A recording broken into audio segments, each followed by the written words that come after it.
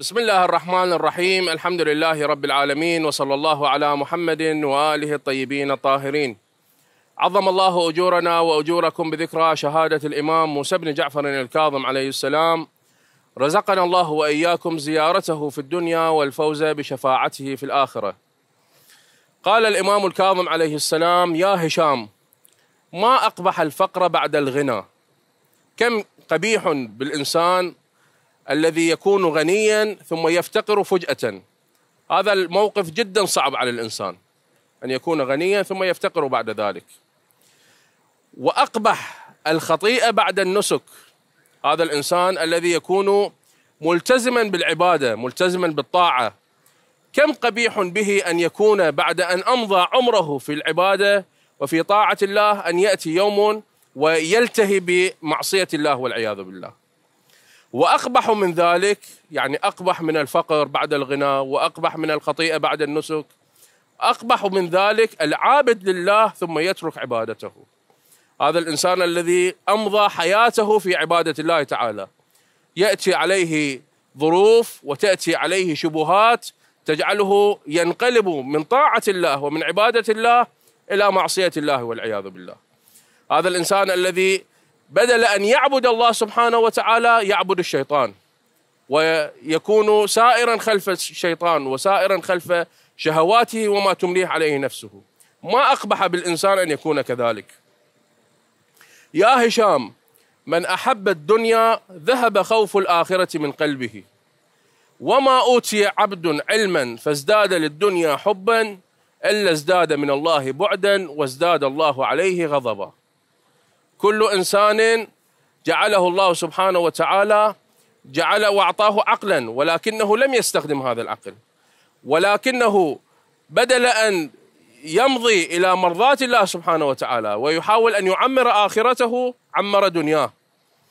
هذا الإمام الكاظم عليه السلام يقول هذا الإنسان الذي يكون في قلبه حب الدنيا سوف يذهب خوف الآخرة شيئا فشيئا من قلبه لا يخاف الآخرة. كذلك هذا الإنسان الذي يؤتى علما فيزداد للدنيا حبا بدل أن يزداد لله قربا ويزداد من الله خوفا. هذا أيضا من الأشخاص الذين سوف يكون علمهم مبعدا لله سبحانه وتعالى مبعدا عن الله سبحانه وتعالى. وسوف يؤدي بهم إلى أن يغضب الله سبحانه وتعالى عليهم. يا هشام إن العاقل اللبيب من ترك ما لا طاقة له به الشيء الذي لا يقدر على إنجازه يتركه. لا يحاول أن يكابر على نفسه وأن يتكفل بإنجاز أمور لا يقدر عليها. ببداية الأمر وبالوهله الأولى إذا رأى بأن هذا الأمر وهذا الفعل ليس بطاقته يجب عليه أن يعتذر منه. وأكثر الصواب في خلاف الهوى. أكثر شيء يصيب يصيب الحقيقة ويصيب الصحة هو أن تكون مخالفا لهواك. لأنه عادة ما تكون موافقة الهوى فيه خلاف مرضاة الله سبحانه وتعالى. ففي غالب الأحيان تكون مخالفة النفس فيها الصلاح فيها مرضاة الله سبحانه وتعالى. ومن طال أمله ساء عمله. أيضا الإنسان الذي يطول أمله في هذه الحياة يحسب بأنه يعيش إلى عشرات السنوات الأخرى كأنه ضامن لهذه الحياة كأنه يعرف بأنه سوف يعيش إلى أمد بعيد. هذا الإنسان سوف يسوء عمله في هذه الحياة. لماذا؟ لأن هذا طول الأمل وطول الأمل بالعيش وطول الأمل بالعمر سوف يجعله يسوف العمل. لا يعمل لآخرته. كل يوم يريد أن يعمل فيه لآخرته يؤجل. يقول اليوم إن لم أفعل سوف أفعل غدا. غدا إن لم أفعل سوف أفعل بعد غد وهكذا. إلى أن يباغته الأجل وهو لم يعمل لآخرته. يا هشام لو رأيت مسير الأجل لألهاك عن الأمل. أنت لو رأيت كيف أن الأجل يسارع إليك في خطواته لألهاك هذا عن الأمل عن الأمل في الحياة عن الأمل في جمع المال عن الأمل في النزاع مع الآخرين. لو كنت كشف عنك البصيرة أو كشف عنك الغطاء ورأيت هذا القدر المحتم عليك. واعلم أن الله لم يرفع المتواضعين بقدر تواضعهم ولكن رفعهم بقدر عظمته ومجده. المتواضع الله سبحانه وتعالى يرفعه في الدنيا وفي الآخرة. ولكن لا تتوقع بأن هذا الرفع وهذه المكانة التي يعطيها له هي بسبب أنه كان متواضعا فقط. لا. الله سبحانه وتعالى عوضه عن هذا التواضع بكرمه وبعظمته ومجده رفعه بهذا المكان وإلا هو كفعل لا يستحق هذا.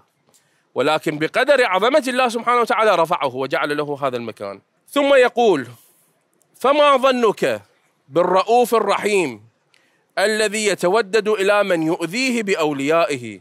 فكيف بمن يؤذى فيه؟ هذا الإنسان الذي يعمل في المعاصي ويؤذي أولياء الله سبحانه وتعالى يؤذي المؤمنين الله سبحانه وتعالى مع ذلك تجده بأنه يكون رؤوفا به رحيما به. لا يعاجله بالعقوبة. يجعل له مجالا لكي يتوب. يمده بالنعم. يغذيه في هذه الدنيا. إذا كان الله سبحانه وتعالى يفعل مع اعدائه هكذا فما بالك بمن يؤذى في سبيل الله تعالى؟ بمن يكون مؤمنا ويتحمل الأذية بسبب أنه مؤمن. كيف يكون تكون رأفة الله ورحمته به؟